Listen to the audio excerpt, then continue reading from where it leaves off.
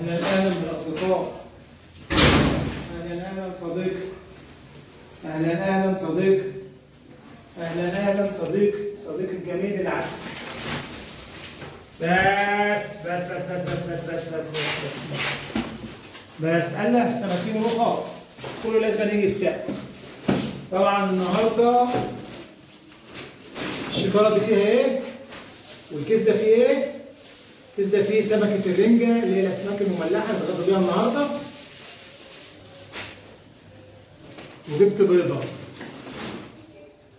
بيضة واحدة. ليه اشتريت بيضة واحدة؟ برغم إن إحنا عندنا بيض كتير على الصوت.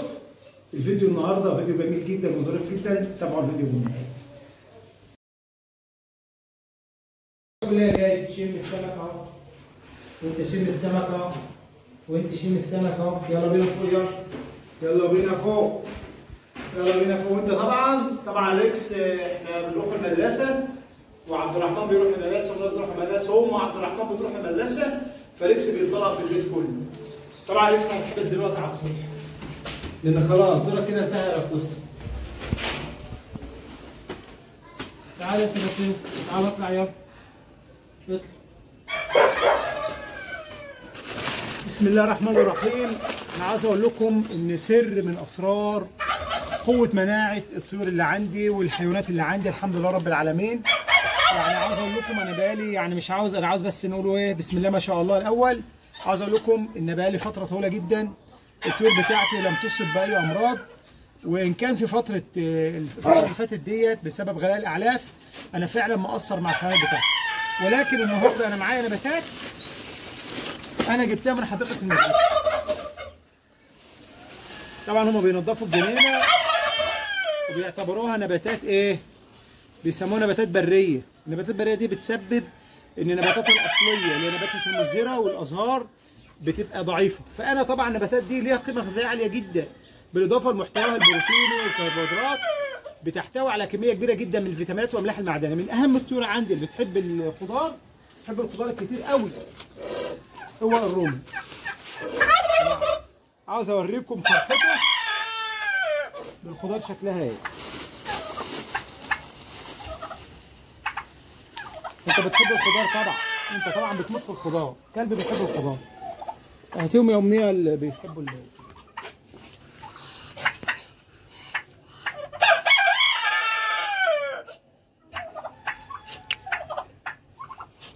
خايفين منك خايفين منك عشان أول ما أشوفك. طب تعالي من بعيد وصوريهم زي ما هم كده. طبعا الحيوانات دي بتبقى حساسة جدا. بتبقى خايفة قوي من اللي بيصورها يكون إنسان غريب. امنيه اللي بتصورنا النهارده. تعالي يا أمنية تكلي كده على التركيز. ابعدي أنت بقى عشان هم خايفين منك. ابعدي يا حبيبتي. زي ما أنتم عارفين طبعا الدواجن بتبقى عارفة صاحبها وبتبقى متعودة عليه. أي حد غريب بتخاف منه. امنيه ما بتطلعش سطح كتير فبيبقوا خايفين منها جامد. يلا يا حبيبي تعالي كملي تصوير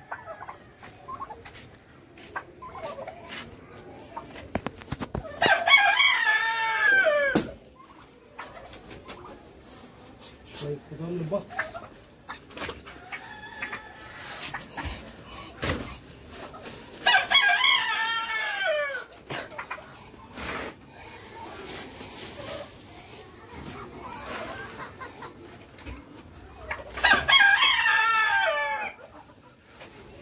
خضار للروم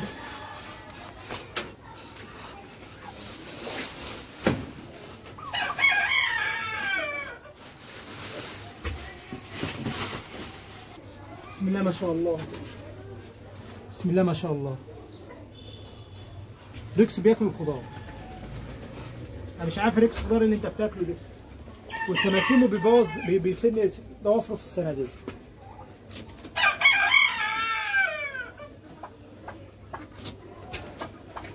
قطع فقط قطع وانت وإحنا تقطع وإحنا نصلي.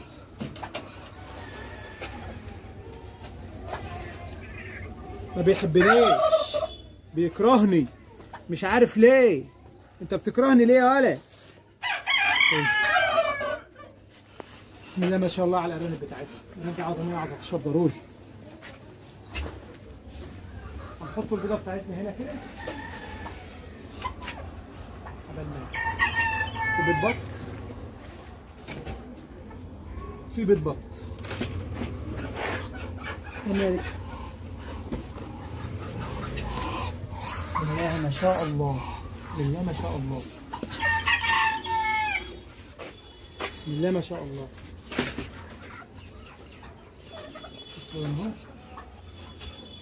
وتعالوا كده نبص على بيض الفراخ بالمرة. انت عاوز عاوز الكيس؟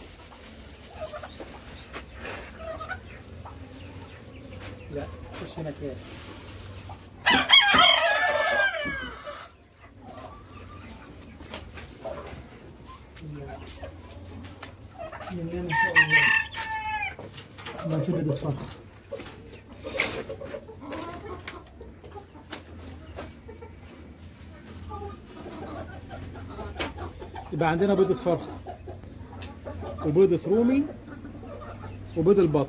تعالوا النهارده مع بعض. كده فاضل لنا بيض السمان. واللي بيسالوني عن طائر السمان والله أنا رحت رحت المكاتب وسألت عليه ووصيت عليه واديته تليفوني عشان يتصل بيا ولكن يعني بقاله فترة طويلة ما مش ع- هو بقاله فترة بيقول لي أنا ما مش لاقي كتاكيت سمان صغيرة. في الحقيقة أنا عاوز كتاكيت صغيره صغيرة عمر يوم اللي هي أنا بشتريها كل مرة. عاملين دوشة. عشان بإذن الله نرجع نربي الطائر الجميل ده تاني من أول وجديد. طيب. إحنا عندنا ثلاث انواع من البيض اهوت زي ما أنتم شايفين كده ناقصنا بس بيض السمان وأنا اشتريت بيضة اللي هي بيض المفارخ العادية. يا سلام. لا يا راجل.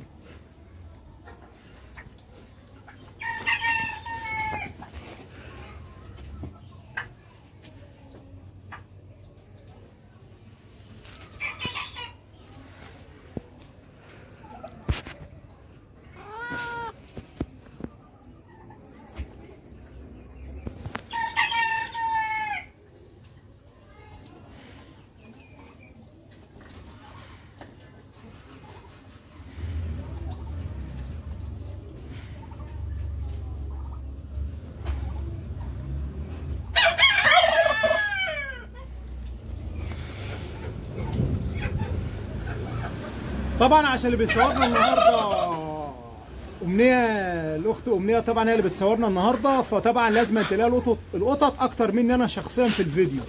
ده شيء طبيعي جدا يعني لأن دول حبايبها وعيالها وحبايبها. برضه القطط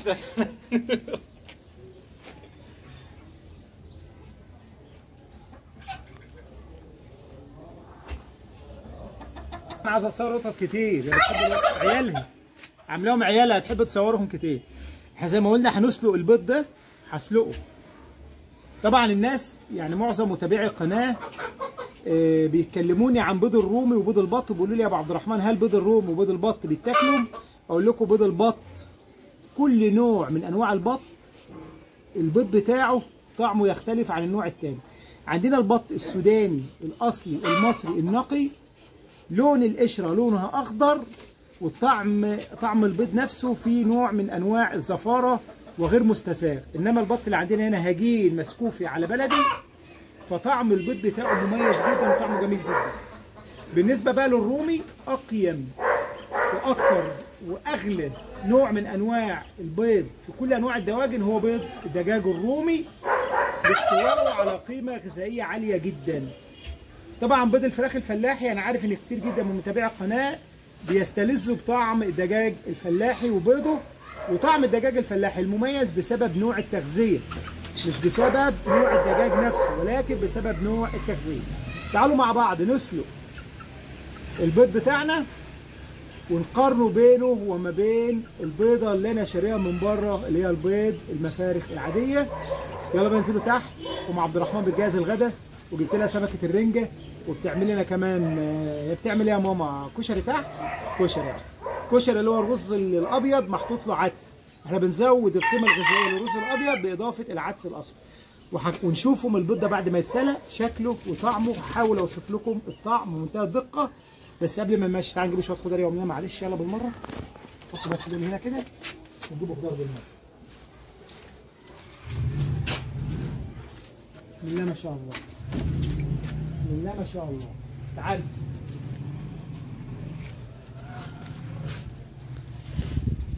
بسم الله ما شاء الله. سموا الله كده. أنا عايزك تبدعي في تصوير اللقطة دي امنيه هي وأنا بشيل الجدر من ال- الأول هاتي لي جدر الليفت ده كده. جدر ال- الفجل.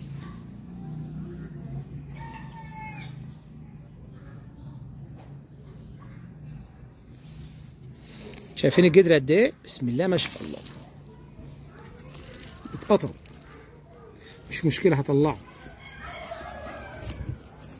هجيب الجاروف يا منى وأجي أطلعه. ثواني هطلعه لازم أطلعه.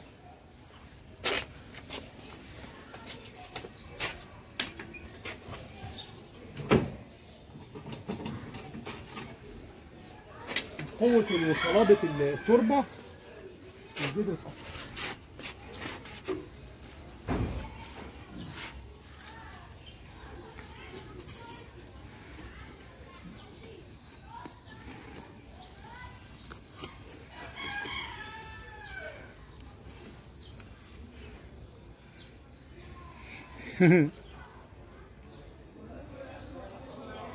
ناخده كمان واحد. بسم الله الرحمن الرحيم. مثل احسنين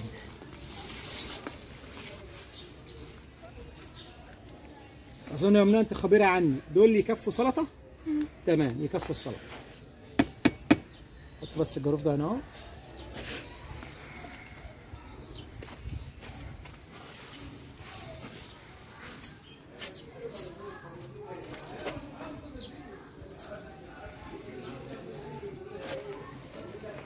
ويلا بقى نعمل السلطة بتاعتنا ويلا بقى ناكل سمكة الرنجة ونشوف البيض المسلوق بتاعنا وطعمه مميز. يلا بينا مع بعض.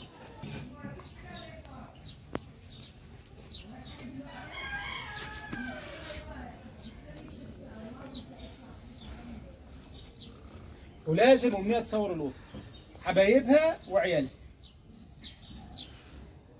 يا سلام على الدلع. يا ولد. والتاني وراك أهو. هلا ده بيتدلع روح يا سلام. يا ولد.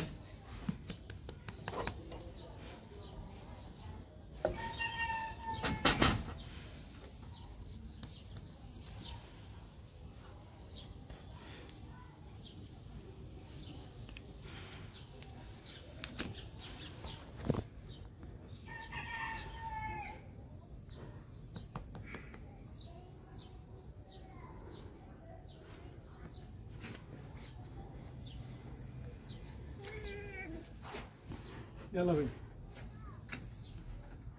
يلا يا منى كفاية كده قطه طبعا أم عبد الرحمن هتسلق لنا بيض البطة وبيض الفرخة الفراخ الفلاحي وبيض الرومي آه، مع البيضة اللي أنا اشتريتها اللي هي في النص دي. دي البيضة اللي أنا اشتريتها من السوق وهنشوف الفرق بينهم. وده الرز اللي قلت لكم عليه اللي هو الرز الأبيض بنحط له عدس عشان نزود القيمة الغذائية ونرفع نسبة البروتين فيه.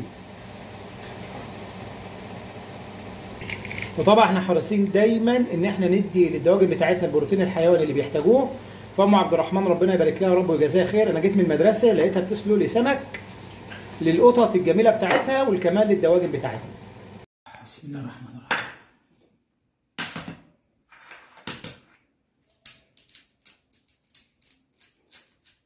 هنبدأ ببيض البط. زي ما شايفين طبعا لون القشرة مختلف تماما.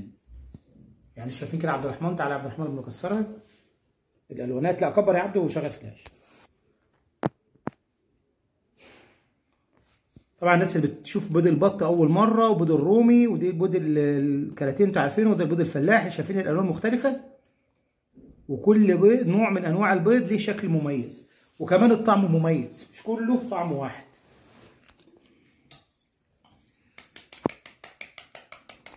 الأول معانا بيضة آه، دجاج الرومي.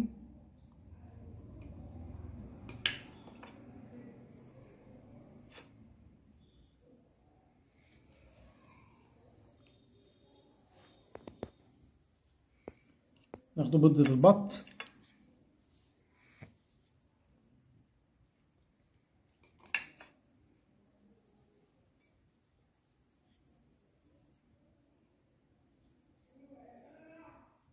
لاحظوا ان الصفار مختلف. بعد كده بيض الفراخ الفلاحي.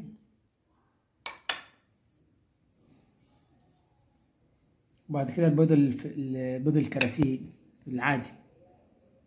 الأول عبد الرحمن يركز لنا على لون الصفار واختلاف الألوان. ولاحظوا هنا في بيض الفراخ الفلاحي شايفين الطبقة ديت؟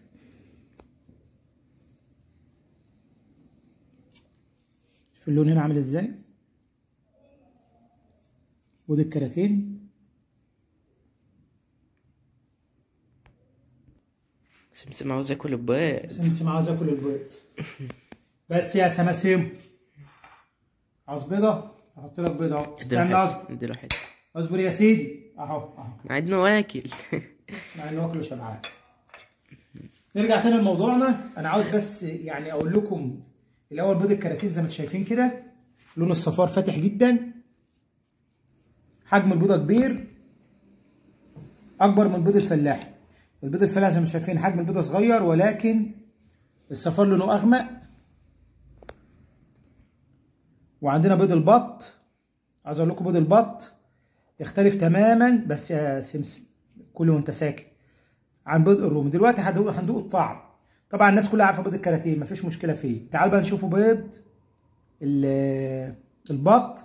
طبعا بالنسبة للبياض يعني أنا أعتقد مفيش أي اختلاف.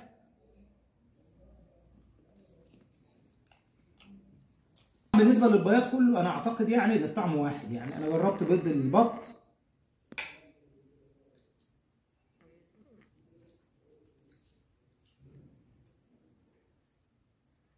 الرومي الفراخ أسوأهم بلا منازع بيض الكراتين أول ما أكلت البياض اتفتت في بقي. لكن البيض اللي أنا عندي في البيت هنا سواء كان رومي سواء كان بط متماسك. قطعية حتى القطعية باينة. متماسك. تعالوا هنا بقى.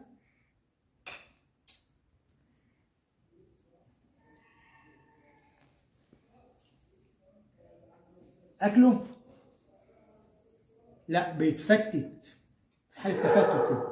تعالوا بقى البياض. بياض البيض البط بقى هو اللي مختلف تماما. يعني بياض بيض البط اللي مختلف الصفار بتاع بيض البط مختلف. انت عامل لي قلق. انت عامل لي قلق. خد حتة صفار اقعد ساكت. طري. في طراوة. تحس إنه دهني. طعمه بسم الله ما شاء الله لذيذ جدا. طعم دهني. وبيض الرومي. لا طعم بيض الرومي. يعني عاوز أقول لكم إيه؟ خيال. يعني أحسن أحسن واحد هو بيض الرومي؟ بيض الرومي طعمه خيالي. امم خد حتة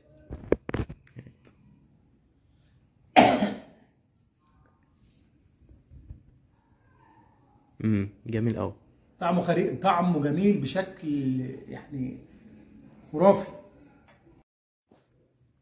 اسكت يا سمسم خد يا سمسم خد يا سمسم خد يا سمسم خد وحل عن نافوخك كده فاضل بيض البيض الفلاحي بتاعنا بتاع البيت اللي بياكل خضار أورجانيك.